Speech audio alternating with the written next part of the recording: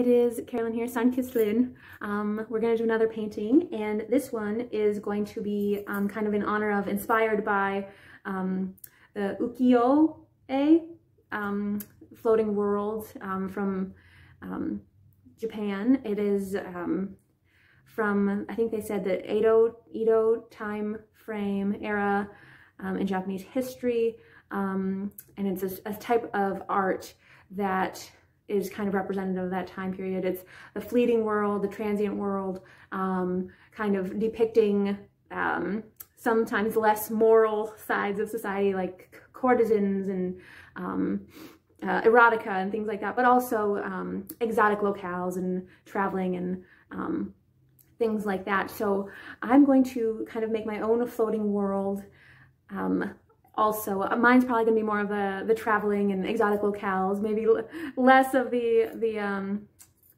the um, cityscapes and the, the courtesans and things like that. But um, here's to it. Let's try.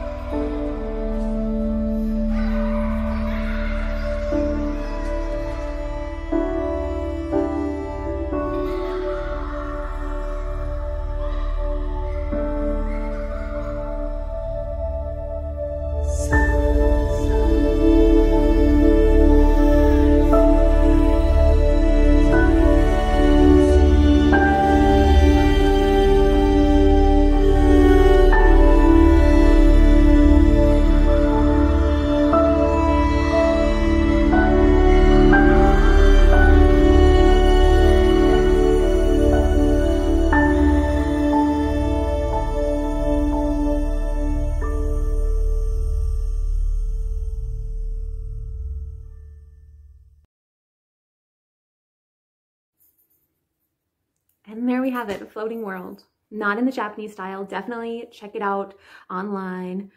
Um, if you get the chance, it is very interesting to check out the history and the culture behind the movement. So thank you for painting with me today, and we'll see you next time.